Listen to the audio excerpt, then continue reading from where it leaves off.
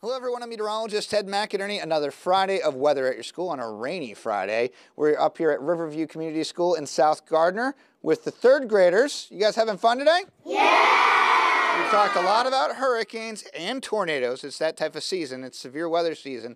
And we uh, looked back at our winter storms. We're done with winter though, right? Yeah! But we're also done with this rain, right? We've had enough of it. Yeah. All right, weather at your school continues next week. We'll be in Sabattus and also in Westbrook.